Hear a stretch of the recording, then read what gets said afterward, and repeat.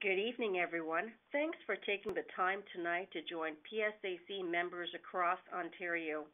We're going to be talking about where we are in the bargaining process with Treasury Board. We're also here to give you an opportunity to ask questions about negotiations. My name is Sharon D'Souza, and I'm the Regional Executive Vice President for PSAC Ontario, and I'll be hosting tonight's telephone town hall meeting.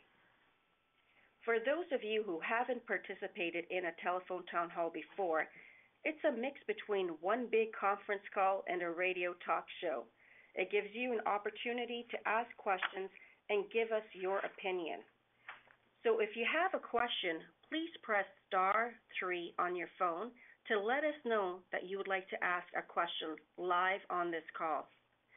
Tonight, we have several guests with us to talk about what's happening at the bargaining table with Treasury Board and to answer your questions. We have PSAC National President, Sister Robin Benson, on the call, and PSAC negotiator, Brother John Wilson. Remember, just press star three on your phone to let us know you'd like to ask a question live on this call. You'll also be able to leave your comments and additional questions in a message at the end of this call. For those of you who have just joined the call, I'm Sharon D'Souza, and I'm your host for tonight's telephone town hall. Now, let me introduce our first guest speaker, our PSAC National President, Sister Robin Benson. Thanks so very much, Sharon. Hi, everybody. I hope you're having a great evening, and thanks for taking the time to be on our telephone town hall. I really appreciate the opportunity to be able to talk with you and hear your questions on these telephone town halls. This is the um, third that I'm on in uh, less than a week, and it's been very, very exciting, let me tell you.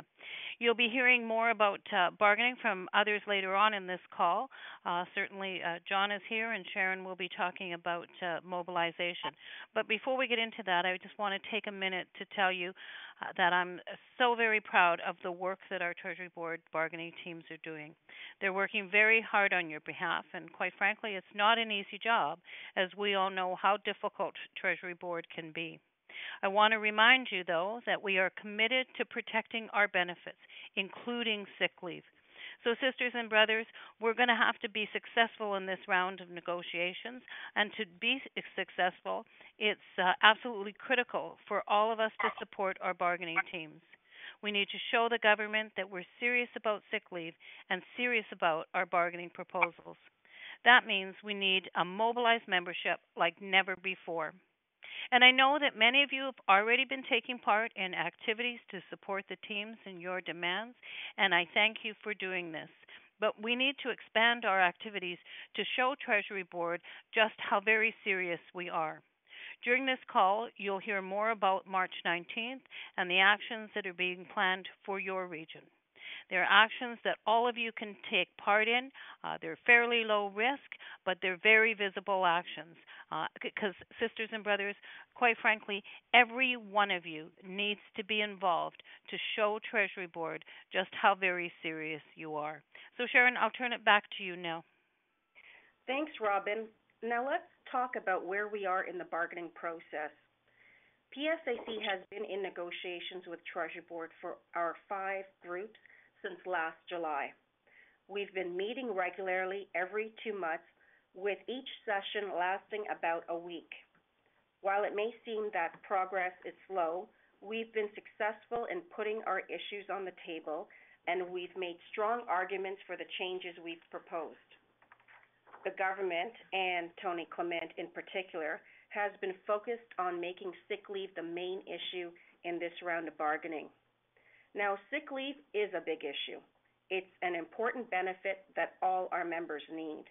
The government's been putting out a lot of misinformation on this topic, but we've been able to push back against their spin.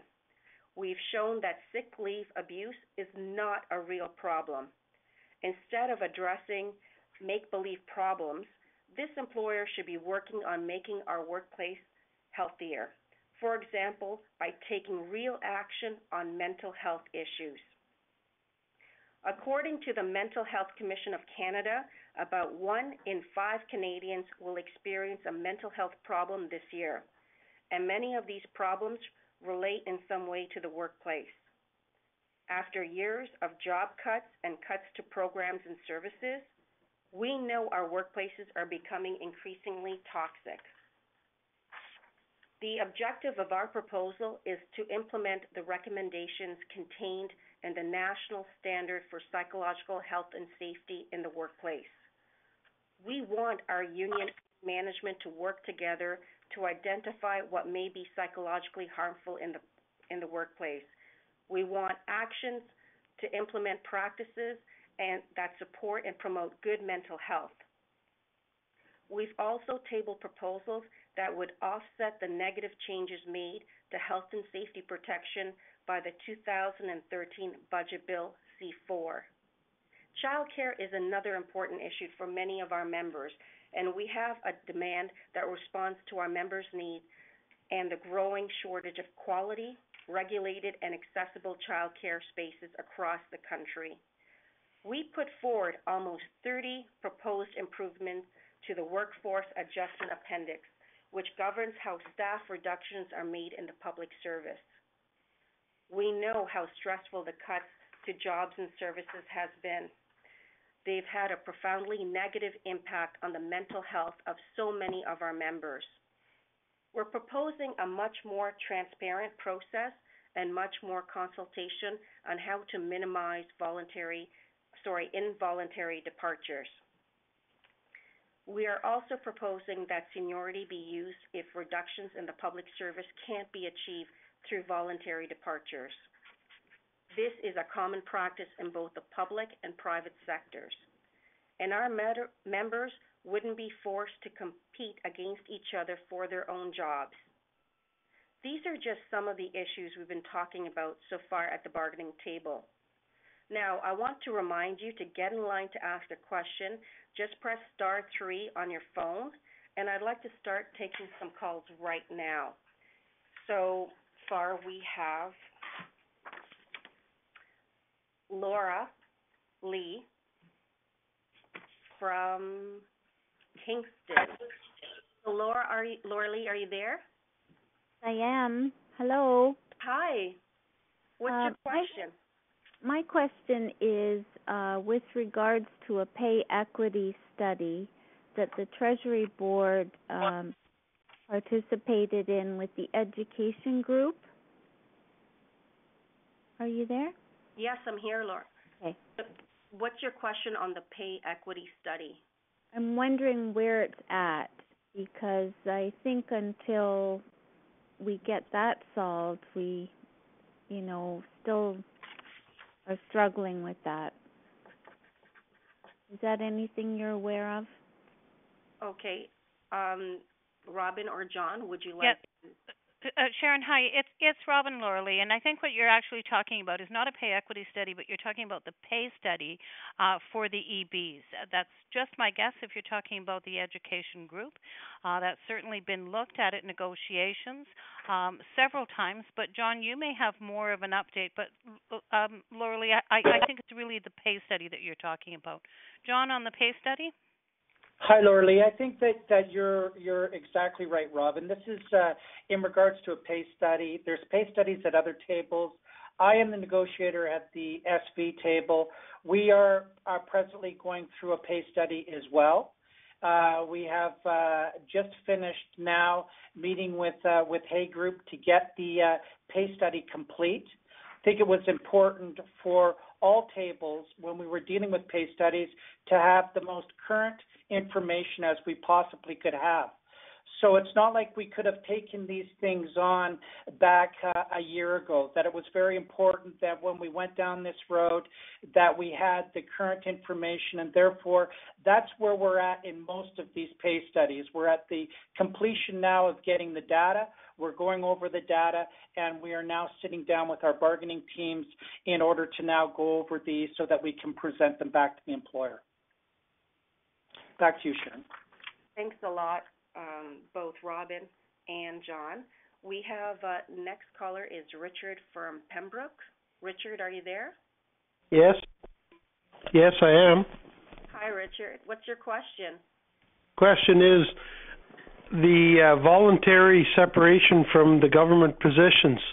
I work at CFB Petawawa, and I notice a lot of, as a tradesman, and I notice a lot of the trades have uh, got uh, financial buyouts to leave, and I'm just wondering what about the rest of the trades that are still at the base? Are they going to be offered an incentive to leave, a cash settlement to leave? So, uh, John or Robin, would you like to uh, respond to Richard's question? Plain and Uh, simply, this is John, and just plain and simply from the bargaining table, we have dealt with no issues in around buyouts. So, uh, and there has been no discussions at this point in regards to that.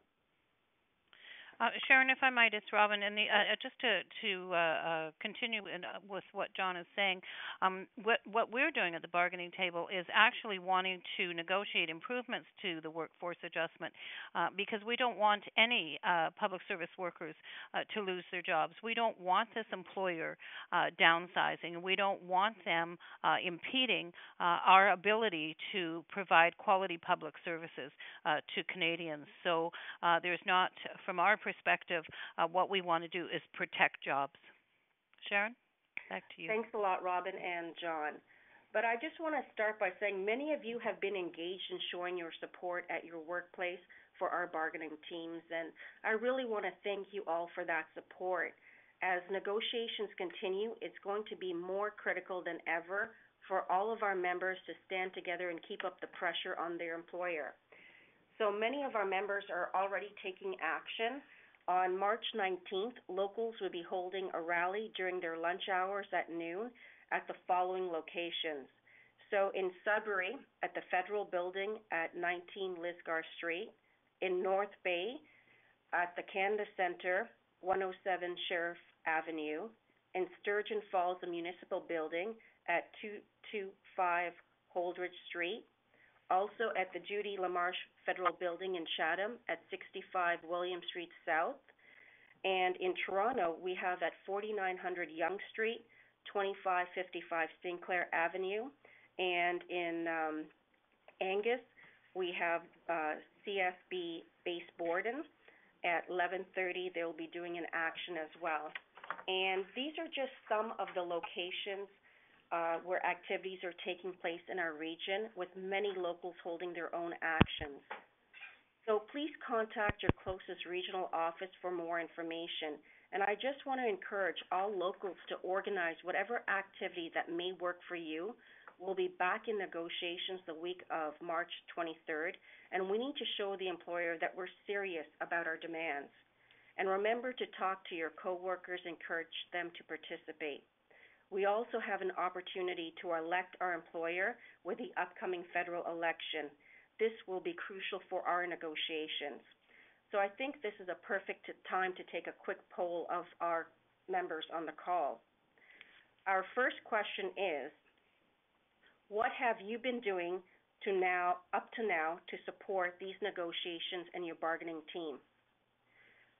Please listen to all the options before you press a button. So press one if you have signed up for email bargaining updates. Press two if you've worn a sticker to show your support. Press three if you've taken part in an activity at your workplace to support the team. Press four if you've done all of these things. So once again, the options are press one if you have signed up for email bargaining updates. Press two if you have worn a sticker to show your support. Press three if you've taken part in an activity at your workplace to support the team. And press four if you've done all of these things.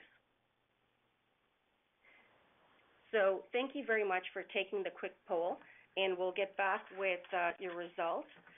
But I just want to remind you that you can get in line to ask a quick question live on air by pressing star three.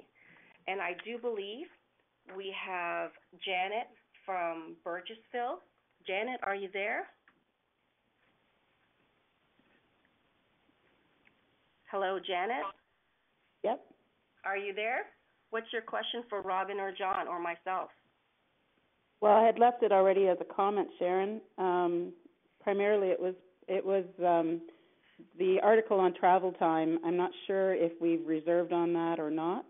Um, however, I have the pleasure of working through all our basic uh, Treasury Board agreements, and I find that it's discriminatory between the tables in that if you're traveling on for the employer, regardless whether you're in the SV group or the PA group, um, we should be treated the same. So I would like them all to mirror the SV if, if that would be possible.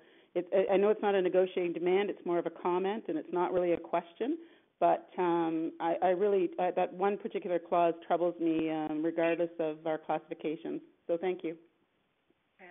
Thank you very much for that uh, that comment, Janet. And um, if I can, Robin or John, is there anything that you'd like to say to respond to Janet's comment? John, have you got anything? Uh, you're the negotiator. No, I think that, I think that it's just a fair comment to make, and uh, and we have been working as well in order to to to make sure that uh, the proposals that are tabled are are uh, communicated amongst the different state different tables so that we can uh, can adjust to these issues as they come about. So so there is discussion amongst the different groups. Sharon. Okay. And Robin, is there anything else you'd like to add? No, Sharon, I think John's covered it. Okay, thank you. And thank you, Janet, for uh, your statement. I think it's very important to hear our members' voices. So next we have Saeed from North York. Saeed, are you there? Yes, I am. Hi, what's your question? All right. So my question was um, that since we have been hearing in uh, bits and pieces about uh, the government trying to uh, restructure our sickness benefits and bring in short-term disability to make it more comparable with the private sector, um, has our union uh, agreed to any of the government's proposal at this point uh, when it comes to our sickness, benefits? Or are we, uh, what I mean to say is, are we fighting for the status quo or are we you know, yielding to the government's uh, pressure and with all that negative media campaign they have about, uh, uh, you know, federal government employees' sickness uh, benefits and putting a dollar amount and all that. Thank you very much for that, Saeed. Robin, would you like to respond to this? I certainly would, and thank you very much for the question. Uh, first of all, let's be really clear. Uh, it's Tony Clement, the uh, president of Treasury Board, uh, who um, more than a year ago uh, spoke outside of Parliament and, and talked about uh, private sector and the need for us, in terms of our sick leave, to be similar to the private sector. Well, we told Mr. Clement that that we were, and that our sick leave was an insurance policy, and that although he had indicated to the press and anyone else that would listen that we used 18 days per year, uh, I very clearly articulated that we could not possibly because we only earn 15 days a year, 9.375 hours uh, a, a, month, quite frankly. So the parliamentary budget officer uh, did a report, did a study, and when he came out with his report, uh, he clearly articulated that Mr. Clement and, and the government was indeed wrong in what they were saying about the uh, sick leave provisions that we have contained in our collective agreement that has been there for more than 40 years. Uh, you know, quite frankly, this government has put proposals uh, at the table with respect to uh, sick leave, and at this point in time, we're not entertaining those proposals. We very clearly uh, have told them that we want improvements and not concessions. So until the government can say to us, or Treasury Board, the negotiators, what's wrong with the uh, provisions that we have within our contained within our collective agreement, we'll be looking at uh, striking improvements.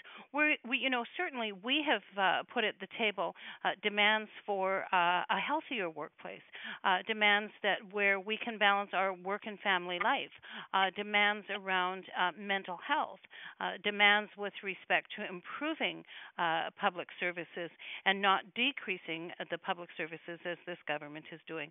And I and I might add as well that all of the unions that are involved with the federal government now now proper, uh, the National Joint Council, have all signed a solidarity pact uh, in agreement that we will stand together, that we will not have concession bargaining at the table, that we will keep our sick leave, and uh, that we will move forward negotiating collective agreements that our membership can be proud of, because this is about uh, uh, dignity and respect, and it's about this employer respecting the work that you do. And certainly, from our perspective, uh, we're not entertaining discussions uh, on sick leave at all. Um, over to you, Sharon. Thank you, Robin, and thank you, Saeed, for uh, that question. But uh, now let's hear the results of our poll question. What has been, what have you been doing up to now to support these negotiations and your bargaining team? 41% of you said you have signed up for the email bargaining updates. 21% of you said you have worn a sticker to show your support. 13% of you said that you've taken part in an activity at your workplace to support the team. And 25% of you said that you've done all of these things, which is fantastic. I want to applaud all of you. But now I invite you to speak to a, a coworker, another member, and invite them to engage in the March 19th actions within your workplace. So now let's go to another caller. We uh-huh. have Shannon from Borden. Shannon, are you on the line? Yeah, I'm here. Hi, Shannon. What's your question? My question I know the big thing, the big topic right now is about sick leave. However, um, being in public service for only eight years, I've had some experience with priorities. And my question is Has there ever been any kind of negotiations on priority? Um, as much as we have the title that we get priority, my experience, priority doesn't mean anything. Okay. Thank you for that question. John, did you want to respond to this? There's not much that I can respond to in around uh, around the question of priority. At this point, uh, uh, we have not dealt with it at the table. We uh, uh, there will be discussions that will be upcoming in around this issue, but there's been no discussions up to this point around that issue. And I'm not sure what's happened in the past in regards to it. Thanks, So, John. Robin, maybe you can add something in regards to that. Robin? Uh, no, I think that John has covered it. Sharon, thank you. Thanks. Okay. Thank you, Shannon, for that question. Next, we have Ray from Sudbury. Ray, are you on the phone? I'm here. Hi, Ray. What's your question? It's uh, regarding the um, the approach, I guess, to negotiations. I'm just going through some of the uh, past notes from the PSAC, and I understand we had filed a uh, unfair labor practice against the government back last July, and I don't haven't heard anything back. Are we still proceeding with that? That's a legal process. Is that still ongoing? Was there a resolve to it? Was there any any outcome from that? Okay. Thank you for that question. Robin? Uh, yeah, I'll start it off, and John may have something to add. But Ray, I think that what you're asking is the unfair labor uh, practice, the unfair that we filed with respect to uh, the sick leave, because the uh, government had come out and emailed uh, all of our members, uh, done an email blast, if you will, and put on a couple of websites that it was a fait accompli that we were having a, a short-term disability, and that is not at all the case. Um, we, uh, you know, as I said earlier, will continue to fight for our sick leave, and so. It's still uh, to be heard. Uh, we've had uh, a, couple of days now in terms of, I want to say, hearings in quotation marks, but uh, it's front of it's in front of the board that we've made some presentations, and we don't have the actual results of it yet. John, do you know when the results are expected? No, and I think that that's. I think that you've covered it off. I think that we were we uh, have been to the board. They have given their arguments in regards to the sick leave unfair, but there are several other unfair labor practice complaints that were made now over the last uh, month as well in regards to uh, access to to workplaces where we've been denied access to come in and speak to our members. So there are several unfairs that are are are being heard before the board now, and we haven't got the results. We would expect to hear them before we get back to the table, especially in regards to the sick leave issue. Thanks, uh, Ray, for such a good question, and I'll thank uh, both John and Robin for their responses. And next we have Simon from Toronto. Simon, are you on the phone? Hello. Hi, Simon. Hi, Sharon. How are you? I'm good. I'm good. Thank you for taking my call. Sharon, Robin, and John, how are you guys? Um, I'm from Toronto, local 645 with the RB, and I just was wondering, I got a question today in regarding to all this grievance going on, or more like the negotiation that is on the table that is happening every two months. But the thing is, I know that there's the election coming up in October, and we know that we want to fight until every, the last second possible. But do you think there's any possibility that we might get an answer prior to the um, to uh, the election happening in October, or do you think we might go even further beyond that? That's an excellent question, Simon. Robin, would you like to uh, respond to Simon's question? I will. Thank you very much, Sharon, and thank you, Simon, for the question. I mean, first, uh, let me be clear: we're at the table, and uh, what we want is is a fair, equitable uh, collective agreement. So when we go to the table, we expect negotiations back and forth, and and as we all know, you know, it takes two to tango.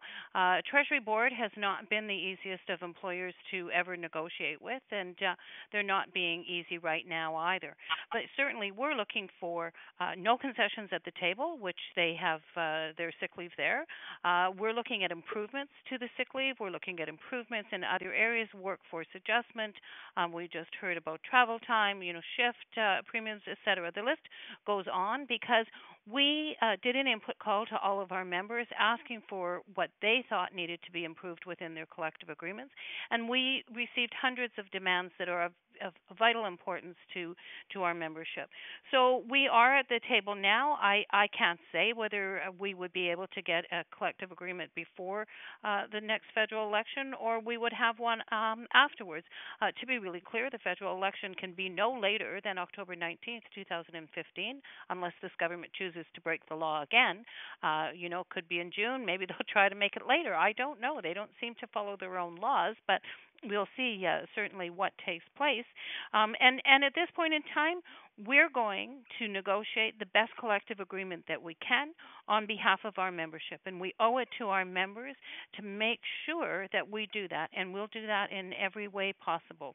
So that's that's it for that, Sharon. Thanks, Robin, and thanks, Simon, for that wonderful question. But I think it's time to do another poll. Our next question is about participating in activities on March 19th in support of our negotiations. So please listen to all the options before you press a button. Press 1 if you will help organize and participate in an activity on March 19th. Press 2 if you will participate in an activity on March 19th. Press 3 if you will not participate in an activity on March 19th. Press 4 if you need more information about what's being planned before you decide. Once again, the options are press 1 if you will help organize and participate in an activity on March 19th. Press 2 if you will participate in an activity on March 19th. Press 3 if you will not participate in an activity on March 19th, and press 4 if you need more information about what's being planned before you decide. So next we have King, Kim from Kingston, Ontario. Kim, are you there? Uh, yes, hello. Hi. Hello? Hey, Kim. Uh, very good, thank you. Um, my question was uh, relative to our pension. Um, I'm bringing it up because it was mentioned in the newsletter that we all receive, and I just wanted um, a clearer idea of what type of changes they want to want to make to our pension. That's an excellent question. Uh, Robin, would you like to respond? Okay, thanks. Thanks very much, uh, Sharon, and thank you, Kim. Um, just to be clear, pensions are not negotiable, and so they're not at the negotiating table.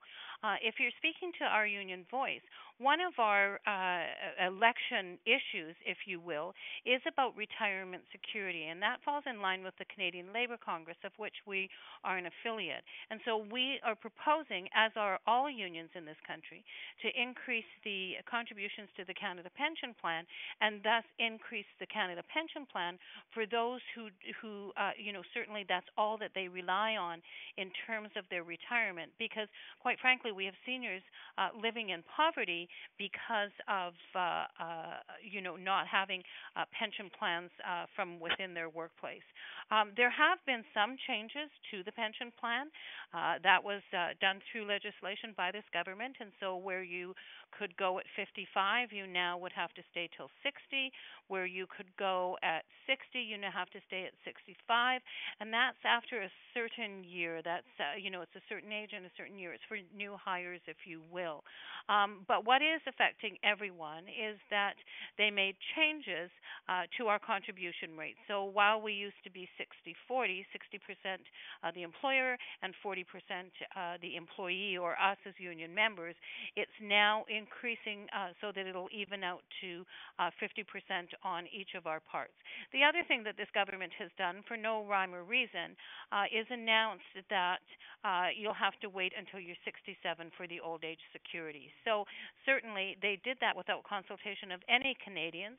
Uh, in fact, uh, the prime minister was in another country. I want to tell you that he was maybe in Switzerland or France, and uh, just announced uh, out of the blue, uh, with with as I said, no consultation with any Canadians, any seniors groups, any anyone, that um, that the old age security, the uh, age to qualify, uh, has moved from 65 to 67. So that affects that came into place two three years ago, and it it affected uh, those born in the mid 60s. So that's the changes that have come about so far. But as I said, uh, we we don't have the right to uh, uh, negotiate uh, our pensions, uh, but we certainly have the wherewithal to um, lobby to uh, save our pensions, to ensure that we keep the sick leave because next they will come at the after us for the pensions. Sharon, I think that that sort of should suffice. I hope. That's a great answer, Robin, and that was a fantastic question, Kim. And um, we're going to announce the results shortly on our poll. But I just want to remind everyone don't forget that you can ask um, a question live on air just pressing star three on your phone. So let's go to another caller. We've got Christopher from Scarborough. Christopher, are you on the phone? Hi there. Yes, everyone. And uh, thank you for doing this. I think this is uh, very interesting uh, use of technology for all of us to have a say and to hear your voices.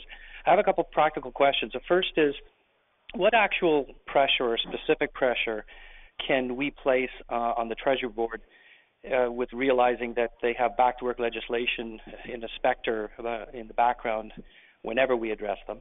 And secondly, how do we appeal, or do you have any plans um, working or in the works regarding the public?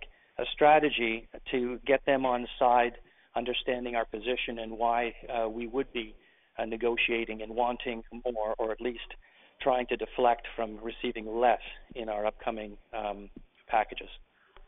That's a great question, Christopher. Uh, Robin, would you like to respond? Yeah, thanks very much, Sharon, and thank you, uh, Christopher, for the question. So let's start with pressure. What pressure can we uh, put on the government? Well, we have to be visible. We have to be visibly supporting our negotiating teams. So whether that's wearing a sticker, whether it's wearing the red bracelet, whether it's doing uh, information pickets, whether we're having uh, coffee parties, the, whole uh, idea of that is to show Treasury Board that we're determined to have um, uh, health, uh, healthy workplaces, safe workplaces, and a really uh, uh, dynamic collective agreement. It's all about being informed about the bargaining that's taking place. So, this telephone town hall, as an example, is being used as a mobilization tool so that you all know what's taking place at the table right now and that you're prepared to fight to keep what you have and make actual gains.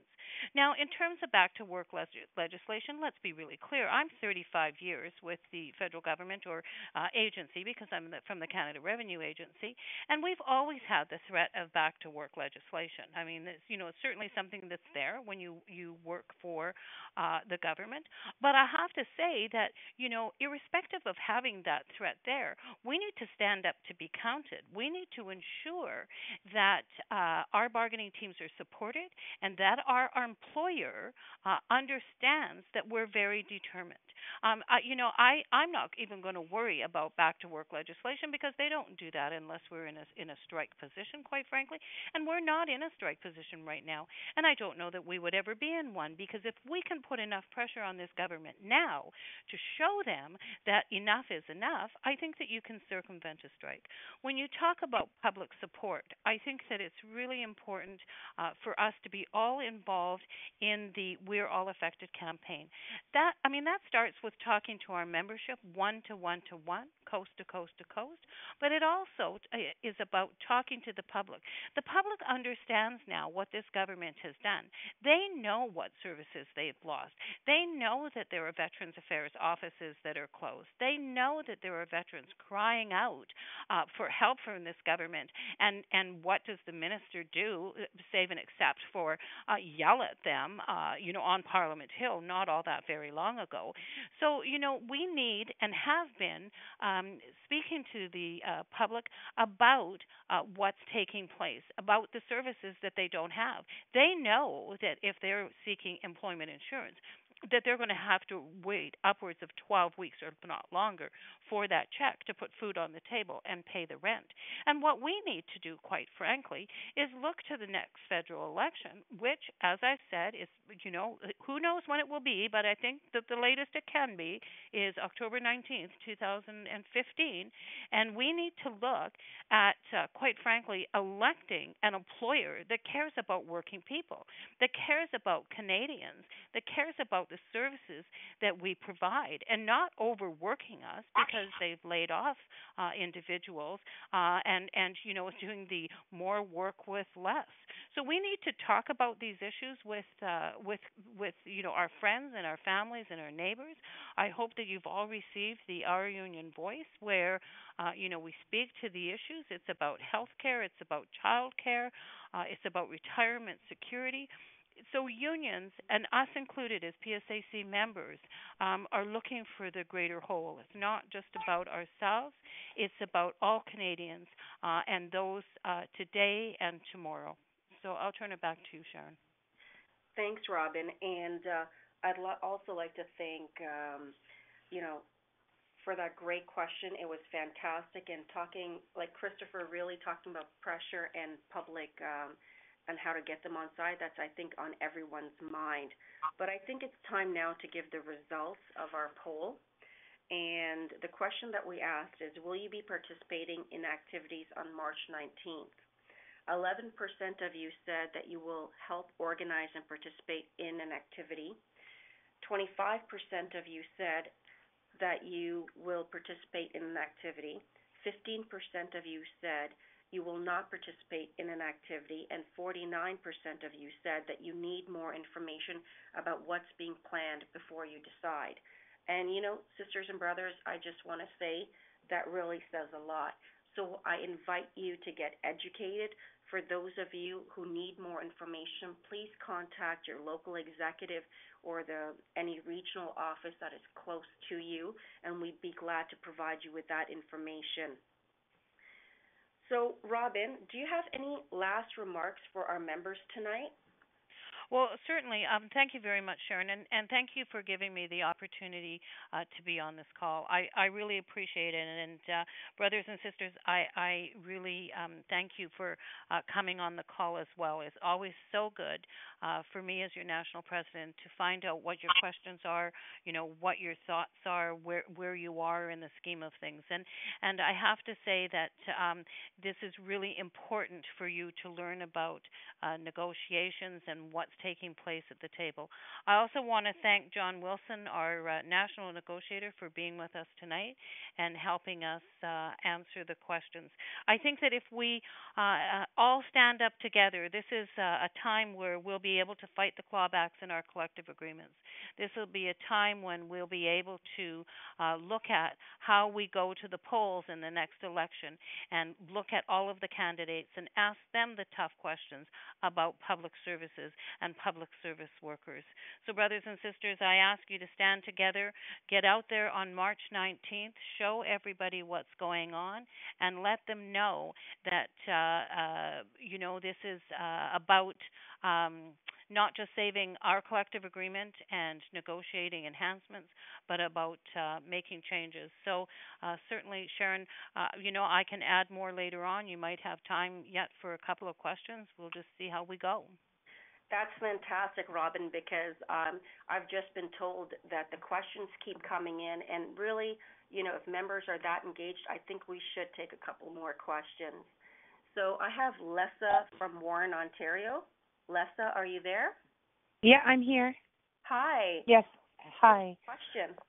Uh, my question is in regards to the uh, paid duty, um, well, injury on on the job. Uh, one of the clauses that we have in the contract that we have right now. Um, I am an, an an employee that was injured on the job, and because and I feel like I didn't get any support because um, I didn't get any payment for several. I was off for over a month with no no help, and none that that clause didn't seem to affect me. Is there going to be any negotiations in regards to the duty, the paid uh, duty, the injury on duty? Okay. Thank you very much. Sorry, please go ahead, Lessa. Do you have a further question?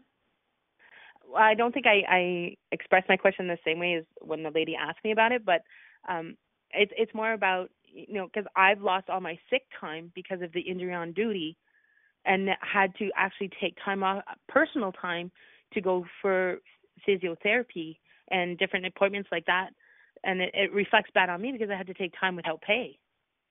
Okay, Lessa, this is really important and what I'd like you to do is I'd like you to contact your nearest uh, regional office, or you're welcome to give me a call directly. Because and, and, and you might, Sharon, if I might, it's Robin. Uh, John, I think you could explain just a little bit about uh, the injury on duty because I, I think that we, you know, we're looking at improvements in in the collective agreements in all areas. Are we not? We certainly are. Like I mean, the injury on duty issue is is really one of now also. Uh, Uh, uh, um, going back on WCB and uh, and and making sure that of course they're doing their part in regards to this as well. We have several proposals uh, for injury on duty leave.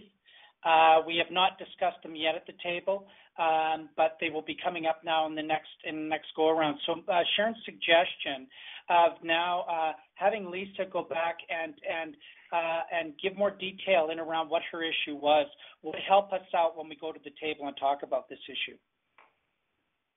Thank you, John.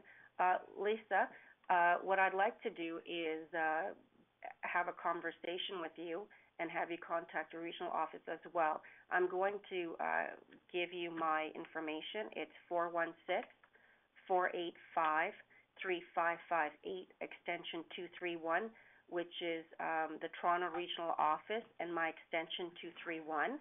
And I'd really like you to contact me so that we can uh, really, really uh, look into this, as I mentioned. But thank you very much for being brave enough to come out and talk about what you went through, because no worker should have to deal with this.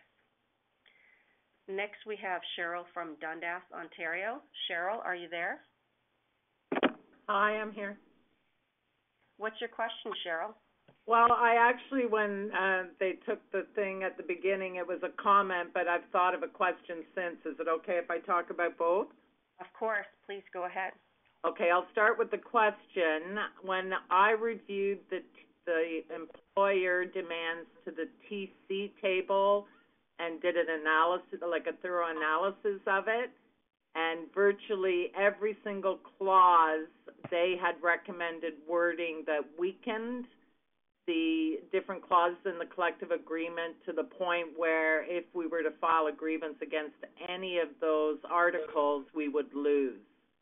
So I just was wondering if, and I suspect that it was those changes were proposed across the board to the other tables as well. I didn't have a time to review them all but are they making any concessions to the wording as per the employer's proposals in like as a trade-off to try to hang on to some of the stronger uh, benefits? And so that's your question. And you also mentioned you have a comment. Yes, my comment was kudos. I am so happy that you have pioneered within all of the unions the proposals to mental health. I'm a senior executive member of the union, and thereby people come to me on a daily basis, and the culture of bullying and harassment within our department, and I suspect across the board under Treasury Board, is astronomical, damaging. I am seeing people lose their jobs and lose their minds and their families, and it's a serious, serious issue. So I want to applaud you and give my thanks for being pioneers and going forward with this proposal for mental health. Thanks a lot, Cheryl. I know uh, it's really important to hear that members are on site. So, John, would you like to respond to Cheryl's question? Sure. What were some of the specifics that you're talking about in regards to your question that came at the TC table? Okay. So well, I haven't got the the proposals right in front of me, but it's it's both things. That's what makes that worries me that they could be accepted by the bargaining teams. I sent a, a big analysis to our TC bargaining team, so they're aware of it. Uh, perfect, Cheryl. It's it's Robin, and, and I want to thank you for doing that analysis, Cheryl. Um, let me be clear that when the employer comes to the table, irrespective of what they put there, it's always a concession. They always want to weaken, uh, you know, uh, any of the the clauses contained within our collective agreement. So, you know, although we don't have time to go into specifics from, you know, SV to TC to PA, because you know they will have, and and when you have time, Cheryl, um, that you will see that they they put forward proposals always to weaken uh, what's in the collective agreement. We have no intention of weakening what we already have contained within our collective agreement. We, uh, you know, this happens every time we go into bargaining, uh, and every time we come out stronger. And the, and I see no different uh, happening now. It's about coming out stronger with our membership being mobilized and our membership wanting to take actions on March 19th that are very, very visible. And I thank you for raising uh, mental health in the workplace because the public service survey uh, certainly indicated that there are huge problems within the workplace, and and uh, I did a fair amount of press around that uh, survey. Uh, that there's harassment in the workplace, there's mental health and issues, and so uh, we certainly, as PSAC, as the leaders, and and as your negotiating team members, are looking at what's in the best interest of our membership, because quite frankly, one in five individuals who answered the survey said that they were being harassed in the workplace. And if that doesn't impact your mental health, I don't know what does. So while the employer does put forward proposals that tries to weaken uh, our clauses within the collective agreement, know that we will stand strong with each and every one of you together to fight off this employer. Back to you, Sharon. Thanks a lot, Robin, and thank you very much, Cheryl, for uh, your questions and your comment. Next, we have Nancy from London, Ontario. Nancy, are you there? I am. Hi. Hi, Nancy. Uh, kudos to the uh, previous sister who mentioned mental health, and I endorse, fully endorse the JLP uh, mental health workshop. We recently had it at our at our workplace. But my question is um, Treasury Board has recently or redefined the excluded members clause. What does my union stand on that? Robin, would you like to respond to Nancy's question?